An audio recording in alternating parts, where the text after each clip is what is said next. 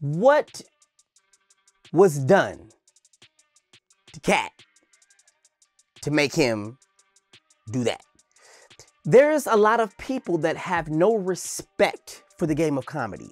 And there's a lot of people that, what, before I go deeper, I will say that I don't, I, I, it's none of my business. So Orlando Brown is back with more piping hot tea to spill on the murky side of the entertainment industry. And he dropped some real gems in his new interview with Cam Capone News about Katt Williams and the alleged attempts on his life. Now you know how every time Orlando goes on one of these YouTube shows, the reactions are always a mixed bag. Because on one hand, you've got people who are saying nothing Orlando says should be taken seriously because he's allegedly dealing dealing with some serious mental issues on top of his substance use. But many others are pointing to the fact that Orlando actually says a lot of things that make sense if you ignore the crazy delivery. Every single mayor needs to figure out what the they want to do before I. There should be grapes, turnips, vegetables, everything on the streets every day for the homeless to eat. You're making us pay for water, you son of a. You're making us pay for grapes, apples, things that God gave us for free. Anyway, on this whole topic of Katt and him being in jeopardy, Orlando said the comedy world is not so funny when you take a peek behind the scenes, and there are a lot of shady and dark things going on. The comedy world is nothing to play with. And since, you know, Richard Pryor left us, God rest his soul. It's more like, you know, everybody's trying to be Richard Pryor, you know, and, and I can't put myself in position to not understand why some people just don't have the, the kind of respect for Katt that they should have. Now, it's no secret that Orlando has been grappling with personal challenges, but there seems to be a positive shift in his life lately. Earlier this year, he took the initiative to undergo a mental health assessment, and the results have been promising. Recently, Orlando also openly shared that he has been embracing a lifestyle free from substance. Yay! And it appears that he is on the path to well being. That being said, it appears that Orlando is still struggling with the emotional scars inflicted during his early years in Hollywood. Word on the street is that something shocking happened to Orlando when he was just starting out at Disney and Nickelodeon, and the lingering mental trauma from those experiences remains an ongoing challenge for him. Some fans are even speculating that Orlando's sudden outburst of laughter during interviews is a clear sign he's tormented by something. But on the flip side, you also have a lot of people who are convinced that Orlando is basically playing crazy to protect himself. These folks folks are saying this is the only way Orlando can spill the truth about Hollywood without facing anything serious. One fan said, For those of you who are lost, watch for patterns. This dude is actually hella smart. He starts talking crazy when certain subjects slash people are brought up. He is speaking the truth, but he disguises it with off the wall so that people don't come after him. And someone else added, Fun fact if you play crazy, you can survive as a whistleblower because they know people won't take you seriously. Now, circling back to Katt Williams, he claimed on more than one occasion in the past that powers that be in Hollywood tried to ruin him. He initially said he didn't realize that these people would stop at nothing to protect their shady dealings. All the way back in the early 2010s, Katt publicly said he had to stop talking about the rumored secret society that pulls the strings in Hollywood because they were allegedly trying to take him out. In a conversation with Black Tree TV back in 2013, Katt claimed that the constant barrage of negative media stories about him can be attributed, at least in part, to his refusal to align himself with the industry club. According to Katt, his decision to steer clear of this secretive and influential group has led to him becoming a target for dramatic media coverage. Some of us are against the Illuminati, and we are against the Illuminati at our own detriment. Mm. When people are against the Illuminati, then they get punched in the face all the time. The press hates them nobody likes him. Katt even went on to reveal that he was initially oblivious to the risks tied to openly expressing his views against the rumored secret club of gatekeepers. He shared that it took many metaphorical stings or challenges before he fully understood what he was up against. I didn't understand that. They had to sting me a million times.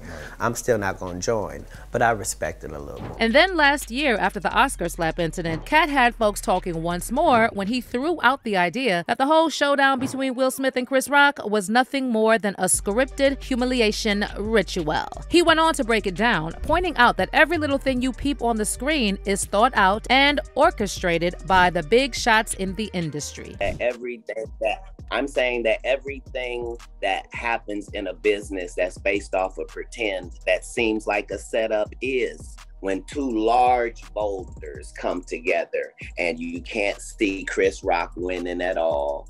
He's humiliated. If you were going to slap a comedian, he was the number one to slap, head of the coons. So slappable.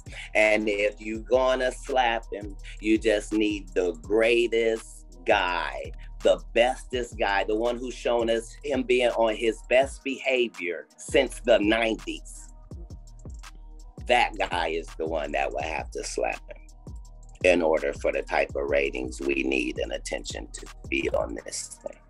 But of course, it was during his viral appearance on Shannon Sharpe's podcast Club Shay Shay that Katt really turned up the heat and started naming names of all the industry people who allegedly sold their souls for fame and money and tried to sabotage him on the low. From Diddy and Kevin Hart, Cedric the Entertainer, Steve Harvey, Tiffany Haddish, Ludacris, Rickey Smiley, Katt had words for everyone, and he wasn't talking in riddles and metaphors either. Instead, he directly accused these people of being jokes stealers and bootlickers for the industry bosses. And to add another layer to just how dark and sinister the comedy world is, Katt also claimed that fellow comedian Wanda Smith tried to set him up to get eliminated just because he was doing his job and made some jokes about her during their viral spat on the Frank and Wanda in the Morning Show back in 2018. I'm not the right Wanda Jones, though. Get this inmate out of here. If, if, if you can't get your blood pressure down, you can't call me down. Uh, whatever, little mama. If your cholesterol is 600, Whatever, little mama.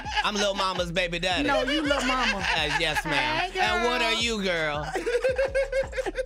you probably shouldn't talk about sizes. No, that's You okay. big on the radio. That's right. And you're and you're big Turn in it prison. down. And you're yes, big ma'am. in prison. I've never been to prison. Uh, you have 19 several felonies, no convictions. Yeah, Knock it off. Prison okay. and jail aren't the same. No, no. According to Katt, shortly after he checked Wanda on air, Wanda sent her husband and son after him, and the husband confronted him with a as per the police report, Wanda's husband admitted he chased after Katt, but he straight up denied flashing the heat, swearing up and down that he accidentally dropped his piece while running. But TMZ later dropped exclusive security footage, and there he was, Wanda's hubby, packing heat and hot on Katt's trail, chasing him right into a nearby grocery store. What's even more messed up is that, according to Katt, that whole showdown between him and Wanda on her radio show wouldn't have happened if she hadn't blindsided him with questions about his children and his past run ins with the law. Katt told Shannon Sharpe that before the interview started, Wanda gave him her word she wasn't going to dig into his legal mess or mention his kids. But Wanda, seemingly eager to put Katt on blast, went against her word and threw shade by bringing up his kids and his jail time. She has a conversation about, okay, now,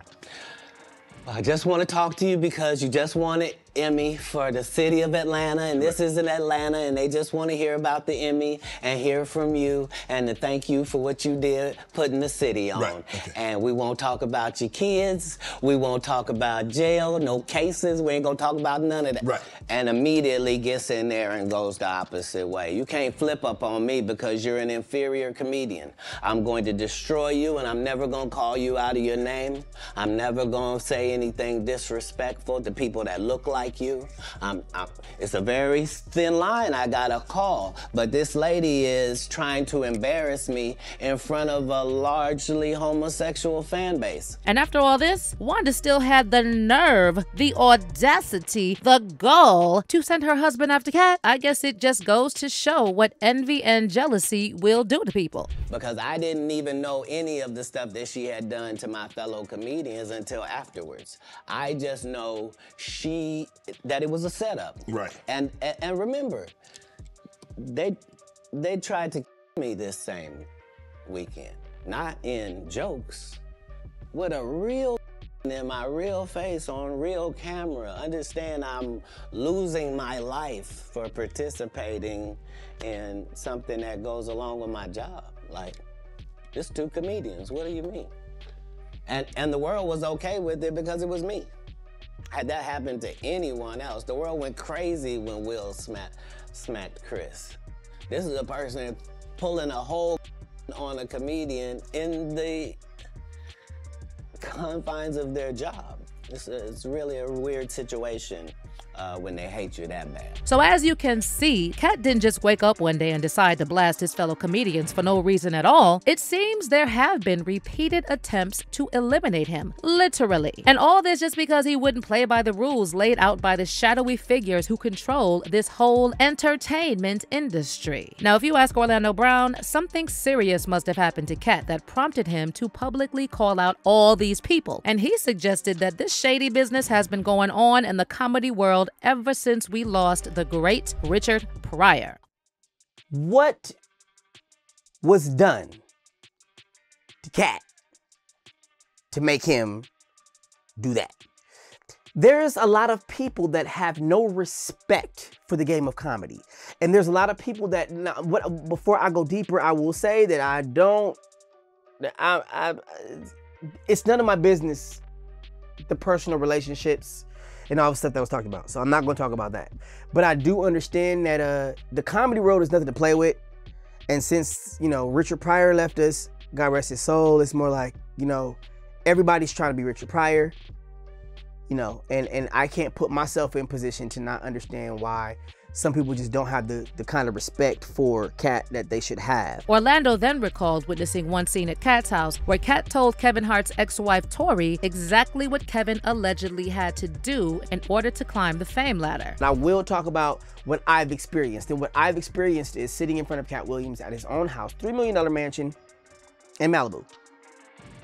And this man told Tori Hart exactly what Kevin Hart did. Kevin been pissing off a lot of people.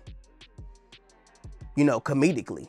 You know what I'm saying? And and I think that instead of trying to bash somebody that knows what they're talking about and bash somebody that has respect in the comedy the, the, the comedy world, I think that they need to look deeper into why is he letting this information go. Now, once again, some people are dismissing all this and saying Orlando is either mentally unwell or high out of his damn mind. But it looks like these people are outnumbered by those who are convinced Orlando knows exactly what he's doing. And they believe this is the only way for him to tell the truth about the industry and continue breathing. Someone said, People don't realize he has put a character on this entire time so he can safely deliver the message message. Those who know, know. If y'all think he's crazy, then nobody worries about him. And someone else added, It's been crazy that it took for Katt to come out with his interview for me to realize Orlando ain't crazy. He just knows how to speak in a way that protects him. But let me know how you feel about Orlando's interview and his comment on Katt Williams. Do you think Orlando is really putting on a crazy act to protect himself? Comment down below and then click on this next video.